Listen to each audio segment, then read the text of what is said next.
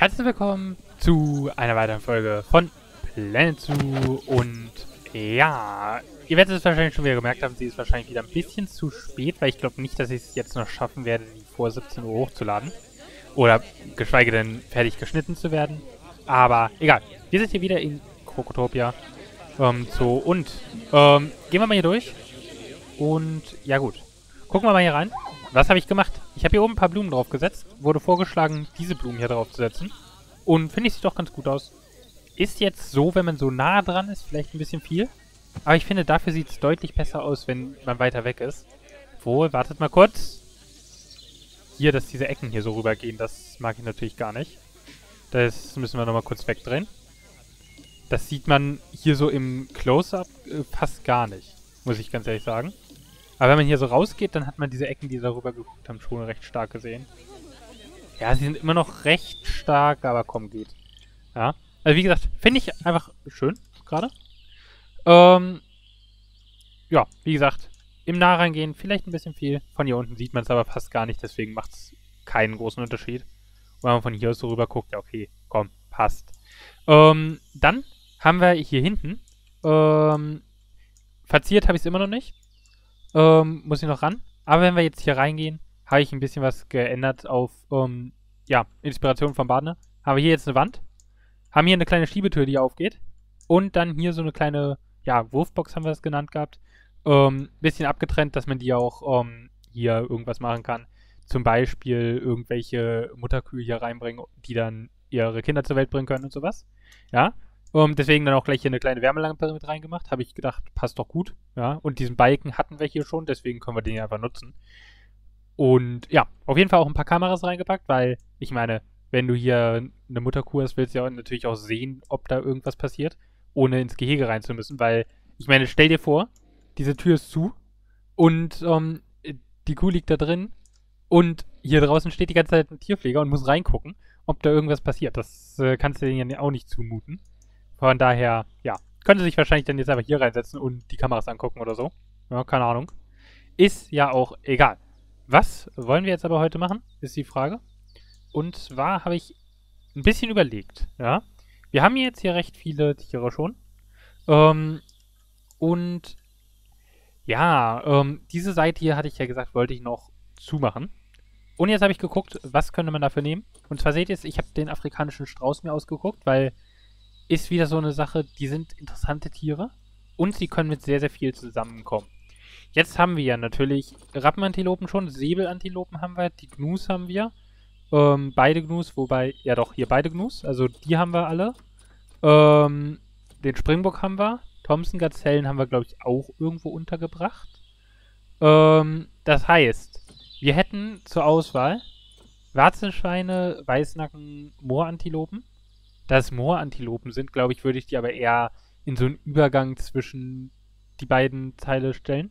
Also zum Beispiel, wo ich mir das gut vorstellen könnte, ich hatte ja gesagt, ich will einen Sumpf für Krokodile bauen, ähm, dass ich das Ding hier als Übergang in diesen Sumpf mache, weil so ein Moor und so könnte ziemlich gut in einen äh, Sumpf übergehen. Deswegen, da würde ich sagen, die auf jeden Fall nicht. Ähm, ansonsten Giraffen, weiß nicht, könnte man machen, tatsächlich. Hätte ich, glaube ich, kein Problem. Mittlerweile ist der Zoo groß genug. Ähm, ihr seht es auch schon hier unten. Ich habe ein bisschen mehr Sterne. Das liegt daran, dass ich jetzt mal eine Marketingkampagne angemacht habe. Und zwar, wenn wir mal reingucken. Achso, ich bin hier noch im Verbrechen drin. Ähm, so, wo war Marketingkampagnen? Genau hier, Marketing. Ich habe hier gesagt, ist eigentlich unnötig, aber mittlerweile, wir haben genug Geld, dass wir 5000 im Monat ausgeben äh, im Jahr ausgeben können, so rum. Ähm, das können wir uns gerade so eben leisten. Und Dementsprechend, dadurch, dass wir hier eine mit hohem Einfluss haben, zahlen wir recht viel. Ja, spaltender Einfluss wüsste ich nicht, warum ich das nehmen sollte. Also es ist günstig, ja, aber warum sollte ich freiwillig einen Teil meiner äh, Besucher abschrecken? Deswegen nehme ich immer die hohen Einflüsse, die mit geringen Einfluss, ja, weiß ich nicht, ob die sich hier überhaupt lohnen. Da gebe ich lieber ein bisschen mehr aus. Und dann habe ich einfach Familienprogramm gemacht, weil, ganz ehrlich, Late-Night-Shows, wen will ich damit erreichen für einen Zoo? Und Comedy-Shows sind ja auch meistens irgendwann am Abend. Deswegen, ich glaube, für einen Zoo ist das Familienprogramm am besten, weil generell im Zoo sind immer viele Familien und so. Deswegen Familienprogramm ist da so meine Auswahl. Ähm, haben wir hier überhaupt eigentlich so eine Statistik, was für ähm, Leute bei uns im Zoo sind? Haben wir sowas? Nö, haben wir absolut nicht. Schade, weil bei Planet Coaster gibt es ja ähm, so eine Auswahl, so ja, so und so viel Prozent von deinen Leuten sind ähm, Teenager, so und so viel von den Leuten sind Familien und so und so viel sind Erwachsenengruppen oder so. Haben wir anscheinend hier nicht. Schade. Ähm, ist ja aber auch egal. Interessiert ja in einem Zoo auch nicht wirklich. Und ja, was haben wir hier? Irgendein Tier, was an Altersschwäche sterben wird bald. Ja, okay, ist schade, aber gut. Ähm, so, auf jeden Fall. Bevor wir zu weit abkommen, jetzt hier wieder. Ich sehe schon, ich habe schon wieder, ja, recht lange gelabert. Ähm, was können, machen wir jetzt? Nehmen wir Netzgiraffen mit rein oder nicht? Das ist halt die Frage. Wir könnten ähm, vier Männchen und acht Weibchen ähm, und insgesamt maximal zwölf. Gucken wir mal. Bei zwölf Giraffen hat, bräuchten wir 5000 Quadratmeter. Bei ähm, Straußen, wie sieht es da aus, wenn wir hier, hier hin, genau, ein Männchen, sieben Weibchen. Ui, ich kann mehr Giraffen als einen Strauß haben? Okay, das ist auch gut. Ähm, bei 8200, also bräuchten wir so circa 7000 Quadratmeter, damit es denen richtig gut geht. Plus, wir brauchen nochmal so ein Häuschen, wobei wir das dann hier hinten hinbauen könnten, recht gut. Also da haben wir hier hinten richtig viel Platz. Und für Giraffen will ich auch richtig Platz lassen, weil, also ganz ehrlich, tut mir leid, das sind Giraffen, die brauchen ein richtig großes ähm, Häuschen da. Und deswegen, also Giraffenhäuschen, da würde ich auch wahrscheinlich gucken, dass wir für Giraffen zumindest pro Giraffe einen so einen Stall haben in dem Häuschen. Von daher, ja, das wird sehr interessant dann. Muss ich mal gucken, ob ich das Gehege in zwei Teile aufsplitte, weil ich weiß nicht, wie gesagt, mit der Zeit. Ich bin noch nicht ganz durch mit dem Abi. Mathe war katastrophal. Ja, war zu erwarten. Ähm, aber ja, ähm, jetzt eine Klausur habe ich noch, die kritisch werden könnte. Danach sollte es wieder gut gehen. Also heute und äh, Montag, die Folgen, sollten noch beeinträchtigt sein. Danach sollte es wieder weitergehen mit halbwegs normalem Uploadplan. Dann könnte ich mir auch überlegen, mal wieder eine Heidepark-Folge hochzuladen. Ja. Ähm, die habe ich ja auch recht, jetzt recht lange pausiert, aber ja. Mal schauen. Ich glaube, wir adden jetzt hier hinten nochmal einen Giraffen- und Straußgehege. Ja. Finde ich ist doch, glaube ich, eine ganz gute Investition. Weiß nicht, wie ihr das seht. Könnt ihr ja mal in die Kommentare schreiben, ob die Giraffen vielleicht zu früh sind für diesen Zoo, weil ist ja nun recht klein. So ein kleiner Zoo, dass der Giraffen direkt hätte, ist, glaube ich, unwahrscheinlich, aber ist ja auch egal. Bevor wir uns da so einen großen Kopf drum machen, fangen wir einfach mal an und bauen hier. Und ihr kennt das Ganze ja. Ähm, wir machen eine kleine Timelapse und sehen uns dann danach wieder.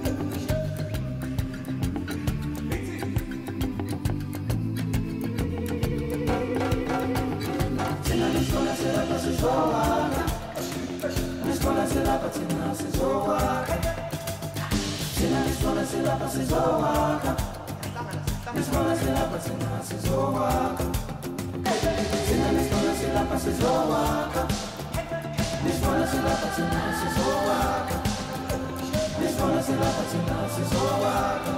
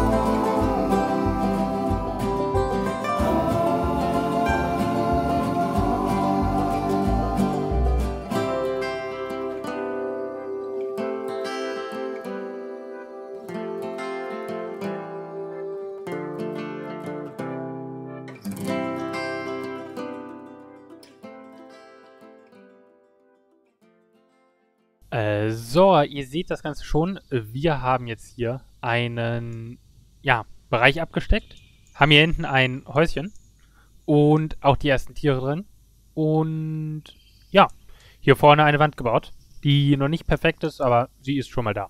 Ja, hier haben wir unsere erste Giraffe, die herausstürmt. Und wenn wir hier mal reingucken, recht basic hier das Ganze. So wie unsere anderen Rückzugsorte auch gehalten hier. Mit ähm, Dachfenstern hier oben drin und sowas, um Licht und Luft reinzulassen. Ja, also wirklich, ich habe eins zu eins dieses Design hier genommen und Upscale äh, gemacht davon. Ja, nur dass hier die Dings ein bisschen äh, schräger sind, die Fenster. Oder die Dächer von den Fenstern. Dafür halt in der Mitte einmal dieses hochgesetzte Teil in beide Richtungen. Damit symmetrisch ist vielleicht noch. Ich war mir überlegen, ob ich das hier hinten umdrehen sollte. Kann ich ja immer noch machen. Aber sagt mir mal, was ihr dazu denkt, ob das Ding hier nach hinten gucken sollte oder ob das auch so nach vorne guckt. Ich weiß nicht. Ich habe es jetzt erstmal nach hier gemacht, weil, ja, keine Ahnung. Ähm, ja, ansonsten ist halt aber jetzt die Sache, es ist schon jetzt 17.20 Uhr ungefähr. Deswegen, ich will das Ding schneiden und halbwegs pünktlich hochbringen. So vor 18 Uhr sollte es oben sein, dann noch hoffentlich. Und deswegen würde ich sagen, splitten wir an dieser Stelle hier das ähm, Video einfach mal in der Hälfte durch und machen dann die nächste Folge dieses Gehege hier zu Ende. Weil, wie gesagt, das ist ein recht großes Gehege. Ich will jetzt hier nicht gerade einfach alles so stehen lassen. Und da wir ja auch Innenraum vor allem Rückzugsort bauen müssen und sowas, will ich das einfach nicht so stehen lassen, wie es jetzt hier ist. Und jetzt, was weiß ich, eine halbe Stunde hier ganz schnell durchgehen und nichts tun. Oder nichts Vernünftiges hier reinbauen. Deswegen, ja, ähm, würde ich mal sagen, ähm, sehen wir uns dann Montag wieder mit hoffentlich einem fertigen Gehege hier. Und ja, dann bis zum nächsten Mal. Lass gerne ein Like und ein Abo da. Und ciao. Vielen Dank, dass du bis zum Schluss dran geblieben bist. Oben rechts siehst du jetzt die passende Playlist zu diesem Projekt. Unten links hat YouTube ein Video passend für dich bereitgestellt. Wenn dir meine Videos gefallen, kannst du mich gerne unterstützen, indem du einen Daumen nach oben da lässt oder den Kanal abonnierst und die Glocke aktivierst, um immer über neue Videos informiert zu werden.